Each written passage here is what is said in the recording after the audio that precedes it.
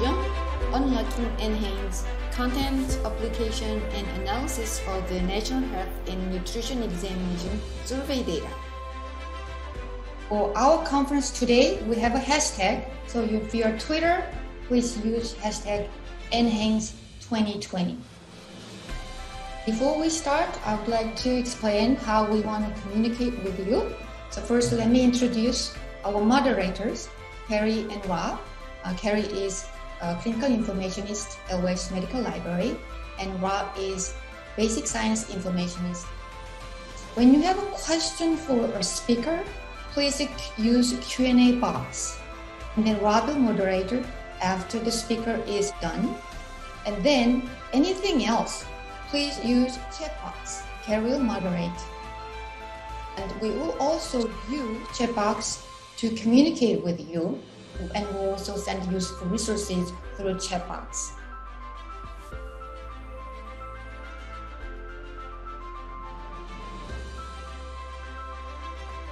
Now we want to know. Okay, that's um, one more question, one more emphasis about Q&A. Please tell us your affiliation.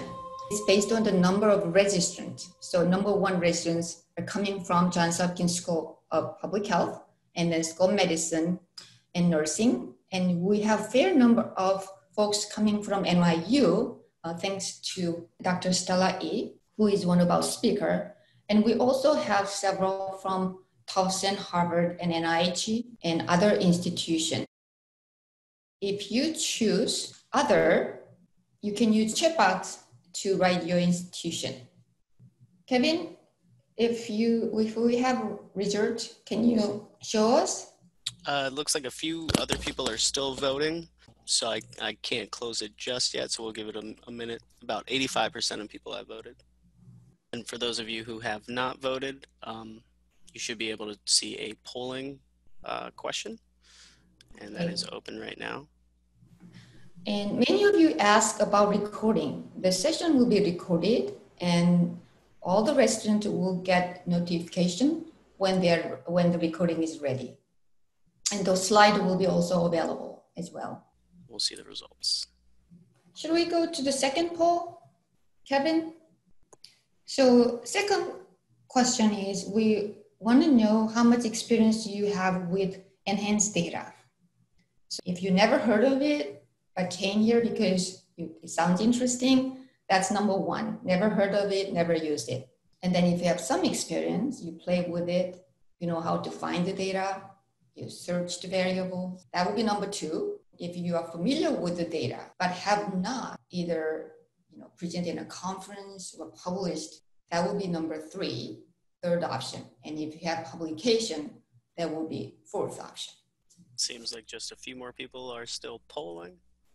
So we have a lot of never used. This is fantastic because our first speaker, Yutaka, will talk, give an extensive overview of NHANES. For those of you who have published, I would love to hear from you in case we do another NHANES symposium next year. I'm always recruiting speakers and introduce our first speaker. Our first speaker is Dr. Yutaka Aoki. Yutaka is a senior service fellow at the Division of National Health and Nutrition Examination Surveys at National Center for Health Statistics.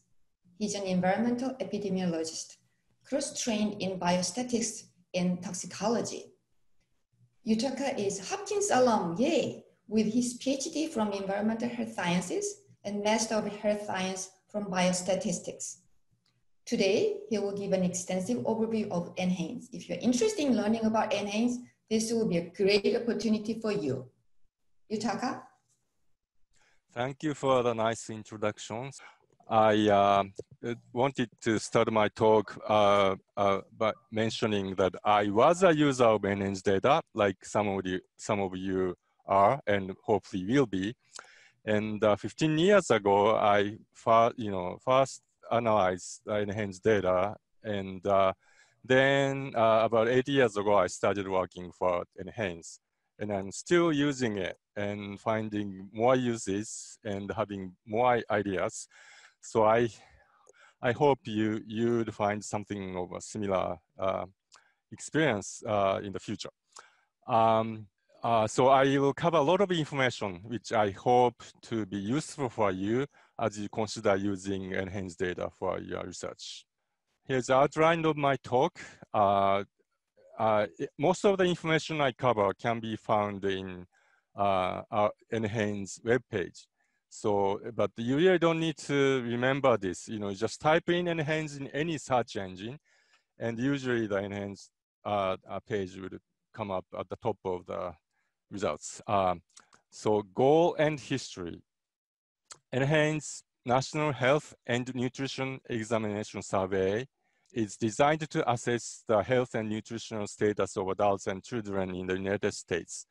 The survey is unique in that it combines interviews and physical examination. And really the keyword here is examination. NHANES provides US population-based estimates of health conditions, including awareness, treatment, uh, control of selected diseases, nutritional status, and uh, diet behaviors, environmental exposures, many of which are based on uh, the objective measures coming from uh, examination, uh, say uh, blood pressure, BM, BMI, iodine in urine, blood lead, these all come from examination. Most of the collected data available for free download. And uh, not just this estimate, providing estimates, uh, estimates for this, there are much more uses for NHANES data. Brief history of NHANES. Uh, it was started in 1960 as a national health and examination survey covering only adults. And then in 1971, as you can see, the acronym, acronym was got longer with N in it, N for nutrition. And uh, HHANES, uh, the first H for this uh, was for Hispanic, but all these other uh, uh, NHANES earlier surveys are, co are covered. Uh, you know, in uh, participants uh, of any race or uh, Hispanic background or ethnicity. Age ranges, as you can see, expanded over years. And uh, the uh, it used to be these earlier NHANES were periodic, but starting with 1999, it became continuous with the two-year cycle and it covers, it's been covering all ages, although some of the data were not collected for uh, some age groups. Overall design of NHANES. NHANES sample represent US civilian non-institutionalized population residing in 50 states and DC. About 5,000 people are sampled each year. Oversampling is uh, performed to allow reliable estimates for subgroups such as Hispanics, non-Hispanic blacks, older persons, low-income whites, and starting uh, 2011, non-Hispanic Asians also have been oversampled. oversampled. And uh, Stella will talk about more about this, I think, later in her talk. NHANES some uh, stage probably some probability sampling design, uh, meaning that uh, counties, the locations, selected in at the first stage, and in the subsequent uh, selection of the uh, lower, uh, you know, uh, units of analysis, segments, household, and then survey participants are eventually selected. Data collection step started with uh, sending uh, advance letter to the prospective participants, and screening is done with informed consent, they may go in, uh, go through informed interview and with further consent, they may take part in exam component of the NHANES. So uh, screening is done at the doorstep of the prospective participants. And uh, as I said, if uh, consent is obtained, move on to the traditional computer-assisted personal interview, CAPI interviews. Household interview uh, uh, collect data on various health conditions, health-related behaviors and exposures, health care utilization, prescription medications and dietary supplements. Uh, so the second uh, component of examination is uh, performed at uh, Mo Mobile Exam Center or MEC, which consists of uh, four trailers, one, two, three, four, and inside of it, uh, like this, you know, many rooms. Uh, but uh, just to emphasize is that some of the interviews also are conducted as a part of MEC. Uh, I'm going to take you through a quick virtual tour of MEC. It's going to be very uh, quick, but uh, and uh, I do note some components pictured are not performed every survey cycle.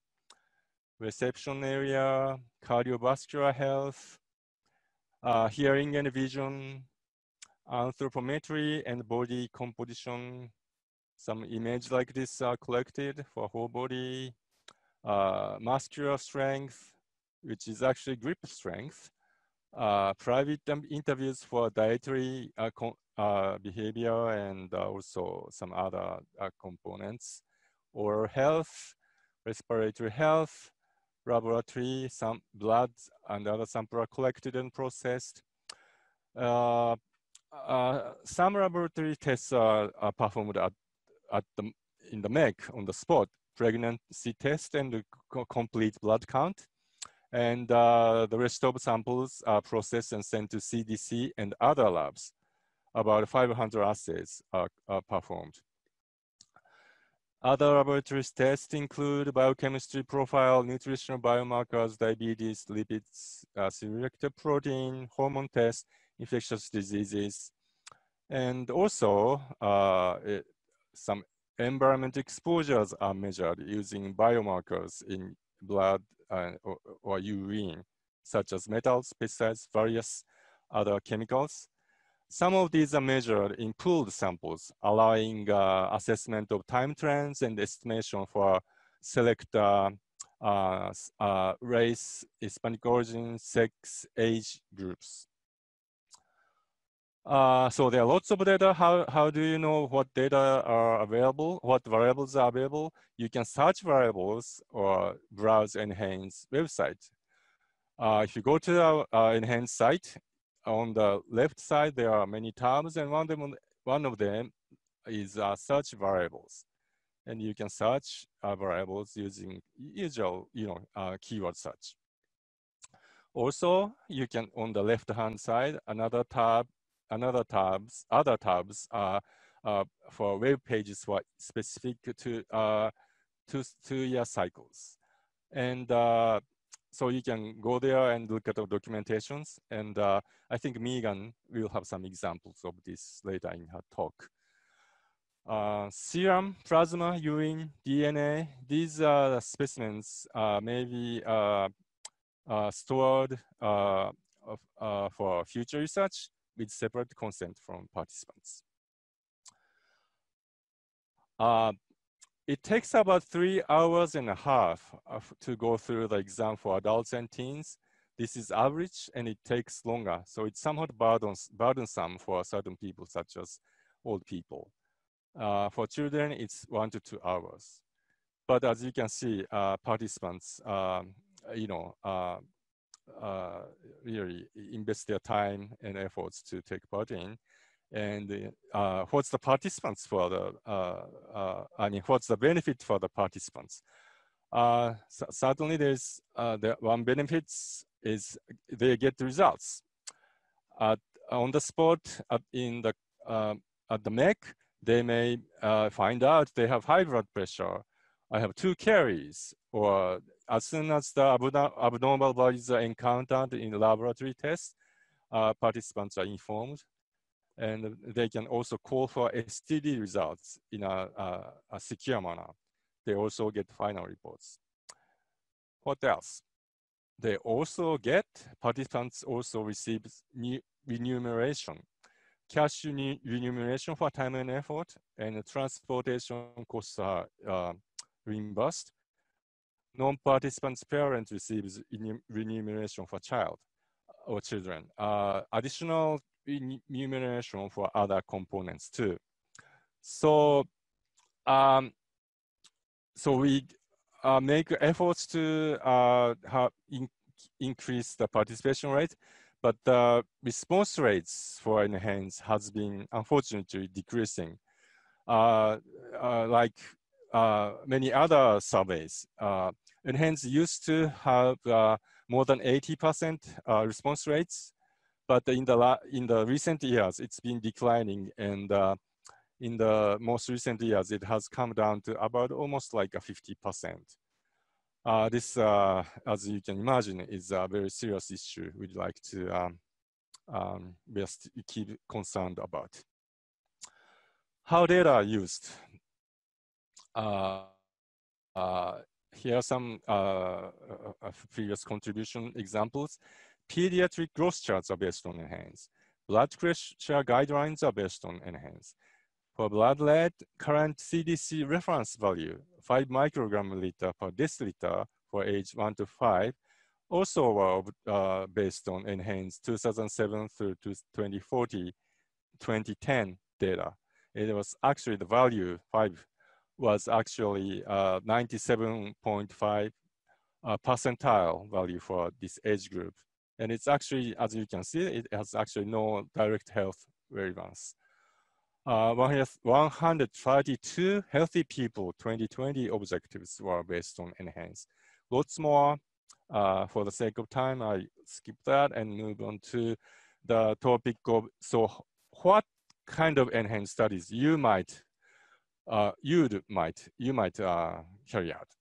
It could be descriptive analytical in a different context, such as change over time, comparisons by group, for, for minority demographic SES, and for minority health, uh, Stella E will uh, talk more about in later uh, in her talk later.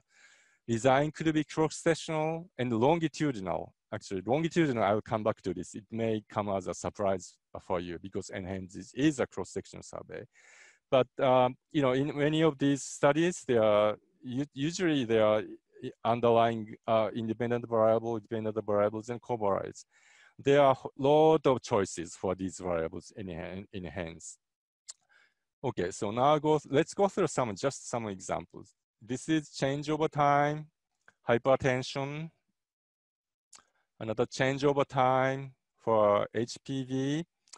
Uh, the New York Times headline uh, read, HPV vaccine is credited in full fall of teenagers infection rate. Group comparison, this is a cross-sectional uh, comparison and uh, um, sort of a, a, shameless personal plug. This I was a, a senior author for this uh, article in which we, uh, we uh, describe the blood levels of the uh, children living in HUD assisted housing and we compared the blood levels to the children living in, not in uh, HUD assisted housing, some, in living somewhere else.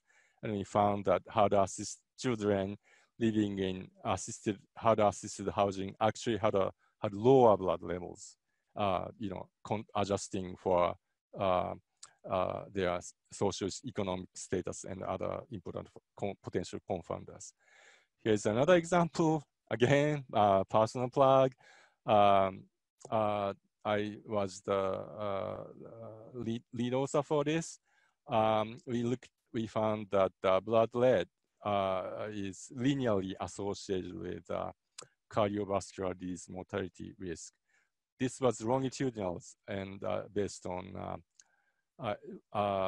mortality data linked to NHANES. NHANES data was used as a baseline and follow-up uh, outcome uh, data were obtained from other uh, another uh, uh, uh, data which is linked to NHANES. the next section is analytic and methodologic considerations. It is really just some tips for NHANES-based research for any uh, research, you start with searching for topic and uh, for NHANES-based uh, studies, you also would like to learn what data are available for NHANES. And what you really uh, looking into is what has been researched properly using NHANES, what can be, or, or other data set, what can be researched properly with uh, NHANES data. So, and you're looking for sort of, sort of, you know, unbeaten path, so to speak. And a little difference here from other general epidemiologic studies in general is that you go from topic to, you know, search for topic and, okay, what kind of data we need to collect? But if I NHANES, data have been collected. So you might have, might look the whole thing slightly differently. Given the data available, what I can study. Another, one thing I important to do is to learn how to analyze complex survey data. And you can take a course, it could be short or quarter or semester long courses, uh, or you can self-teach.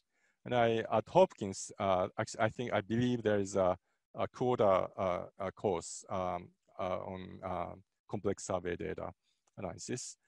And you can, uh, for simple analysis, it may be sufficient to uh, go through some online tutorials, NHANES we also have uh, uh tutorials uh, for that. One thing, another thing I can recommend you to do is that to pull out some of, some uh, previous papers and try to replicate findings based on public NHANES data. And I did that when I first touched um, uh, uh, NHANES data 15 years ago, and it's very, uh, you know, gratifying that you find that, okay, I, my estimates actually exactly matches um, the, the, the values in the published papers. Uh, and you might go on to consider use of limited access data, uh, which I'll talk a little about a little more uh, in, in greater length later.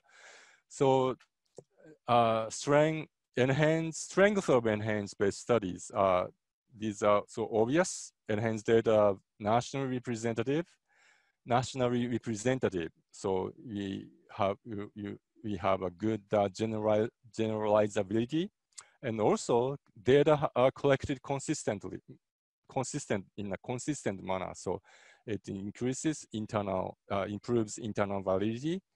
But the very practical advantage is that you know there are lots of data for free for you to use.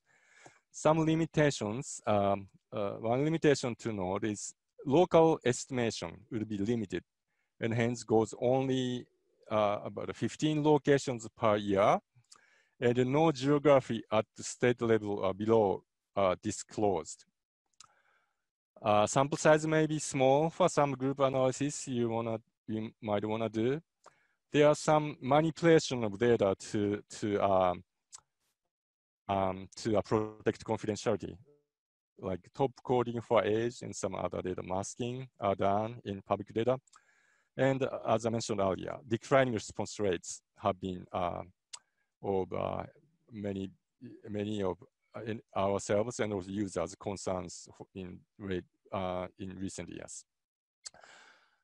Uh, here's some analytic considerations. Just two here, uh, I mentioned top coding, and you can, for, uh, for age, you can, and the solution will be categorized, use categorized age, you can impute, you can also uh, uh use limited access data, uh, which are recorded, uh, which provides exact age and so forth. Another one just came to mind, my mind as I prepare this presentation is uh, when analyzing data from multiple surveys, there's a concern for confounding due to year of survey. For example, suppose you are looking at two variables x and y, and they both have decreasing time trends.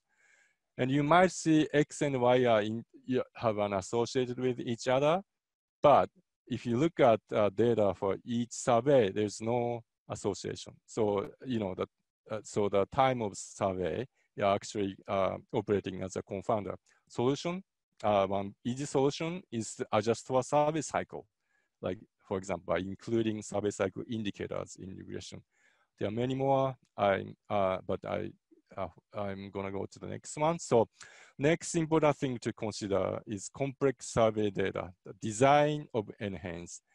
And it's in generally, it's better to avoid using methods for simple random sample. And there's exception to this, um, as for sof some sophisticated users can deviate from this with a certain justification for sure. This will be, uh, uh, Josh will talk about this later in greater detail. But typically, typically complex survey appropriate extensions of usual random, simple random sample uh, methods are available. So it's highly recommended you run this uh, complex survey method and use those. Typically, usually you just need to uh, pay attention to, to two important two design considerations. One is weighting, and uh, the other is variance estimation. And uh, implementation of these could be relatively simple. For example, uh, for weighting, you need to choose proper sampling weight. And uh, for example, instead, you can just put in the weight uh, variable like this, or and uh, variance estimation also uh, strata and PSU could be uh, specified properly. Limited access data can be accessible through Research Data Center or RDC. I put accessible in quotation marks because some data may not may be only used as matching variables and cannot be directly accessed even at RDC. Uh, how to do this? Uh, this RDC is uh, uh, based research is proposal uh, goes through proposal process. You submit a proposal to be to be reviewed for disclosure on disclosure grounds, and excuse me, um, and and once the proposal is approved, you'd conduct analysis at the RDC and retrieve results, which we call sometimes call output access acceptable on disclosure ground but uh, uh, no raw data could be taken out from the RDC. There's some user fees. There are many RDC locations across the country. And uh, here I listed three that's nearby. I mean, from near, uh, not far away from Hopkins, downtown DC, Rockville, and Hyattsville. RDC may be closed uh, during COVID-19 epidemic. Uh, types of limited data include sensitive data such as drug use for uh, adolescents, personally or geographically identifiable information such as you know old age, values, uh, detailed ethnic origin, ancestry, geocode. As I mentioned, matching variables. Uh, the geocode, generally speaking, can be used mostly only for matching variables or merging with external data and no geographic identifier at, at state or low uh, level can be directly accessible even at RDC. There are some linked administrator, uh, mortality, Medicare, Medicaid, Social Security benefit, and housing assistance program of HUD. And some of these could be used for longitudinal study. Okay, latest update. Uh, so Field operation uh, of NHANES data collection have, has been on pause since March due to COVID-19 epidemic. Meanwhile, we have some uh, surplus uh, or you know some trucks which haven't been used. Uh, so we provided uh, that for, for the DC government to be used for COVID-19 response. Okay, I guess this is uh, the last slide, I guess. So as mentioned earlier, you know, most of the information I covered could be um, uh, looked at again or learned more at our website. To, and you can explore variables, learn about design analysis, and use tutorials and so forth. If you still have questions, you, the best way to find more about is to send inquiry through CDC info email form, which is available from this uh, uh, uh, uh, website. And this is really recommended for inquiry. Um, okay, so I guess that's all I have. Uh, I would uh, entertain, entertain your question. Thanks. Stop sharing. Thanks, Yutaka. So um, we have a number of questions. Some relate to NHANES scope so I'll start with those. So we have a question about um, amputation. If amputation is a variable or considered in the collection of data for NHANES? Uh, there are so many data. I can't, I don't remember the data have been collected, but I may be wrong. The best way to find out is just to go to that search page and you can put in amputation in the, and uh, uh, if, if it, to see if it's having corrected. And for future, um, if we get some questions like this, will this be uh, collected in the future? That's hard to answer. so generally you find out when data come out and uh, there's no other good way to find out, uh, unfortunately. Yeah. Okay, thank you. Um, a couple of questions relate to children specifically.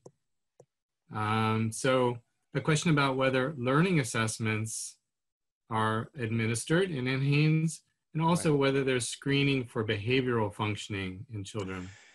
Uh, yeah, so again, I'm talking from my memory, so please confirm this at the website. But there have been some components, like some some for like assessing the, uh, uh, you know, ADHD types of outcome.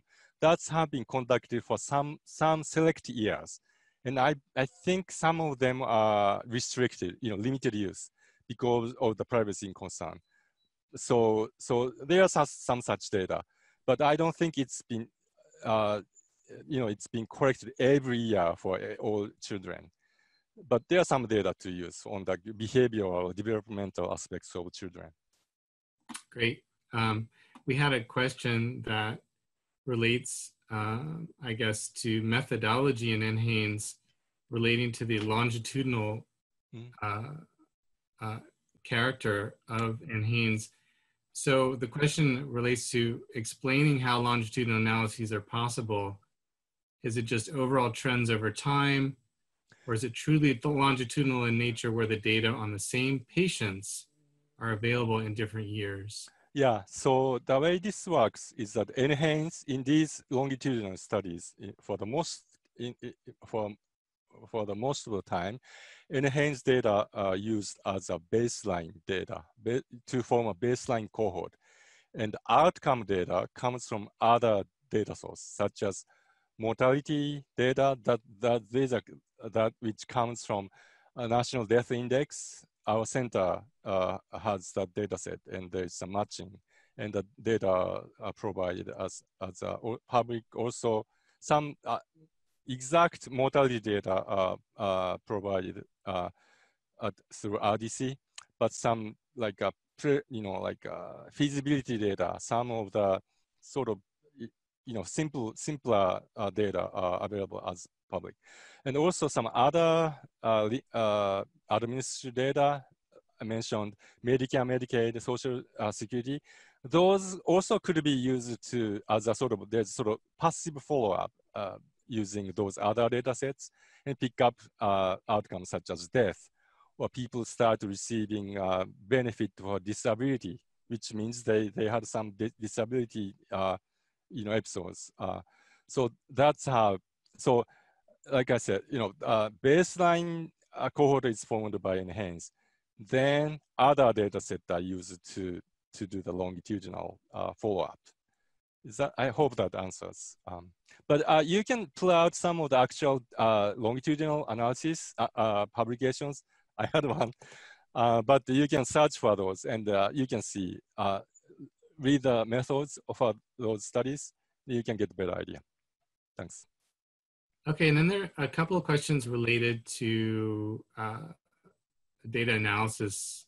So one, I mean, you, you, you touched on this. I don't know if you want to say any more about weighting, but a question saying, does NHANES require any weighting?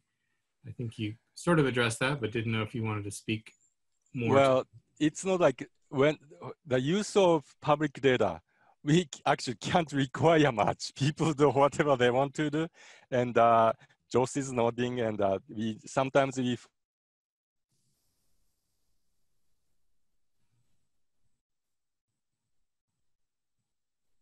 summarize, but generally speaking, for example, get uh, producing the national estimate of something, weighting certainly is needed.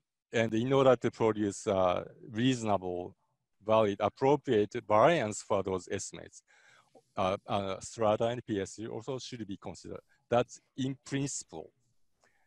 Maybe more later for sophisticated users, really sophisticated users.